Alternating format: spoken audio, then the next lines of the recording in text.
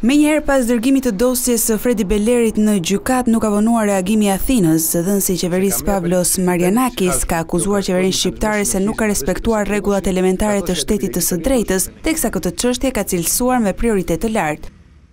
Shqipëria duhet të respektojë rregullat elementare të shtetit të së drejtës dhe është një çështje në të cilën vendi ynë do të vazhdojë të veprojë si prioritet absolut, sepse ne duhet të mbrojmë edhe të drejtat e pakicës, si dhe një kryetar bashkie të zgjedhur ligjërisht. Për Athinën, kjo është një çështje me prioritet të lartë.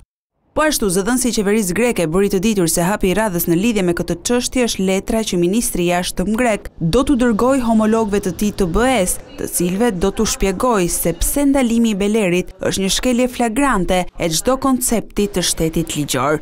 Kryeministri Kyriakos Mitsotakis e ngriti çështjen Beleri edhe në samitin e fundit të Bashkimit Europian në Bruksel. Ndërkohë, mediat greke raportojnë se mbajtja në qeli e Fredi Belerit shënon një kthesë në marrëdhëniet greko-shqiptare.